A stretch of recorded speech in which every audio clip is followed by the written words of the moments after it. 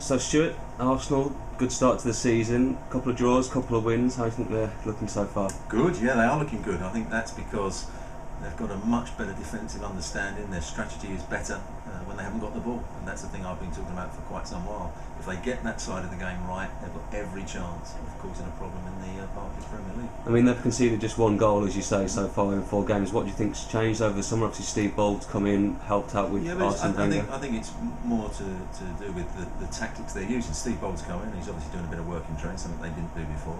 But they're now not trying to hold too high a line and trying to, to, uh, squeeze up when there's no pressure on the ball. Uh, they are making sure when they do go forward, they've got cover in midfield so that when the fullbacks go forward, midfield players can get out and, and, and uh, deal with situations. And there's a greater urgency and a determination to defend.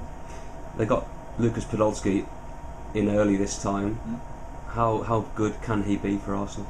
He's been very good so far. He's played in a wide left position on occasions. Uh, yesterday against Southampton, he played as the centre forward, but he still dropped off and, and linked up the play. But he's also got uh, a bit more speed than I thought he had, and, and a bit more power. So he's done really well for Arsenal, and he's looked a good signing. And against Liverpool, he did a lot of good defensive work. They've got some interesting games coming up now, notably the next two Premier League games are against uh, Manchester City and Chelsea, but Champions League comes into play now. They've got Montpellier, Olympiacos, and Schalke as their three teams in their group. Do you think that should be an easy group for them to progress? No group is easy, but I think Arsenal should win those games quite comfortably. Montpellier not had a great start in the French league. You know, they had that outstanding season last year, but they've lost their best player to Arsenal, Olivier uh, Giroud.